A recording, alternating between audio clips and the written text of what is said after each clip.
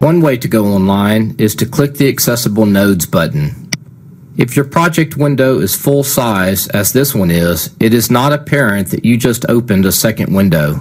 If you click the Restore Down button, you will see that a second online window opened in addition to your project window. Drop down to the Blocks folder. By default, the Blocks windows show small icons. If you click the Details button, you will see each block's details. Let's open the online block FC14. Because you have opened the online version of the block, you will see a message telling you there are no local variable names, and no symbol names are available because they are not stored in the PLC either. I'm going to let you in on a little known secret. If you click the Error tab, you will see that you got to this block through accessible nodes, and the word online here means this is the actual online block in the PLC. Let's add a normally open contact.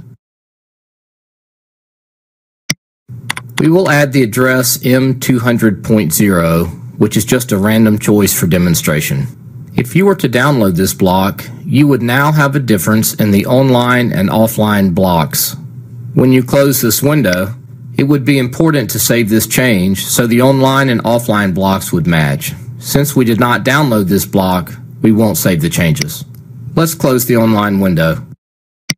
Here's a second way to go online from your project. In Simatic Manager, in the Offline project, select the Blocks folder. Click the Online button. Now you're online directly with the Blocks folder. Also note that a second online window opened again. Now we'll close this window. Let's open a block in the Offline project. We'll choose FC14. Let's turn the monitoring glasses on to monitor the block. Take a look at the Error tab again. Notice that even though the block is being monitored and the title says online, the block that you have opened is the offline block from your project. Here's a third way to go online with your project. Click the Online Offline toggle button. You will get a message asking you if you want to close the block you have opened and open its partner.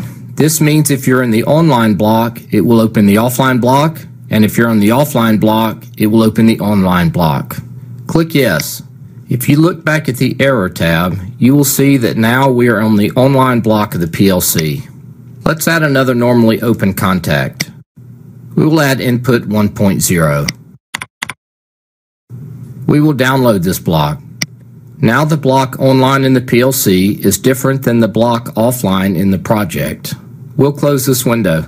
Click Yes to save changes to this block, and Yes to the overwrite message.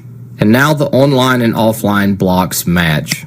Here's a fourth place in your project from which you may want to go online. Highlight your station and double click the hardware. Click the online button.